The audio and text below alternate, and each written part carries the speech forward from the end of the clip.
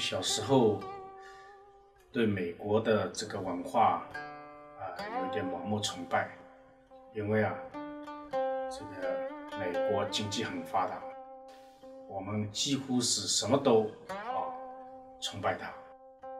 到了高中的时候，我看美国的文化啊，特别是绘画艺术，主要是啊当代绘画艺术，五花八门的。商业性也很强，但是呢，我就不明白，我们的一些旅美的画家，我们也一直在关注的。旅美的画家呢，都是画写实的，啊，比如说我们宁波的陈逸飞，啊，还有我们上海的陈丹青，他们是好朋友，好像在我们中国国内是很风光的。这个似乎与。当代艺术格格不入，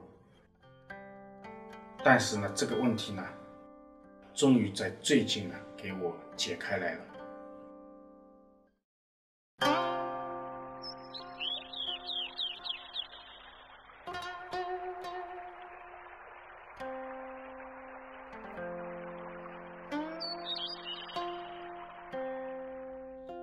一次偶然的机会啊，裴发宝老师跟我讲。想不想参加中美文化艺术交流活动？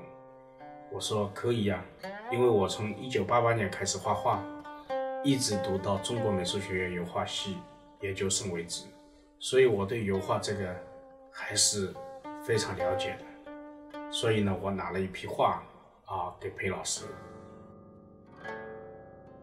结果呢，我被选上的画，恰恰是能够反映中国特色的。